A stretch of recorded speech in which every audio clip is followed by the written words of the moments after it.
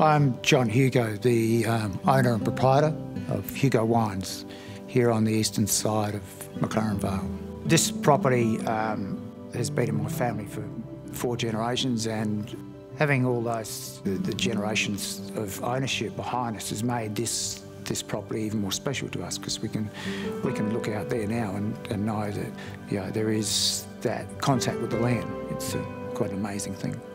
I was born uh, here and grew up on the property. That was in 1951, so I'm now I'm part of the part of the furniture really.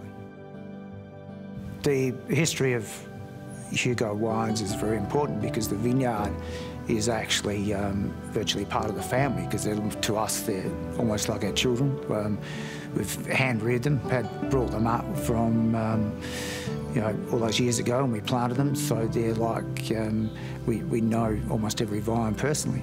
My father um, originally planted vines here, and so I started working with him on the vineyard, and we knew that we had really high quality fruit because we were selling it to other wineries who were producing extremely good wines, gold medal wines, and um, so we found the opportunity then when we weren't getting uh, much for our grapes, decided it was time to then start making our own wine.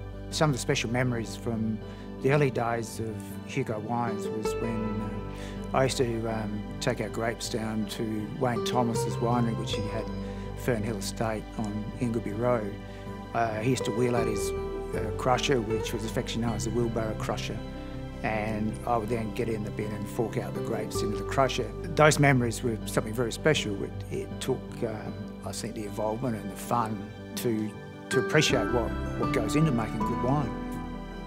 Hugo Wines has all its uh, vineyards in this one location, makes it that very special thing that we have total control over that fruit.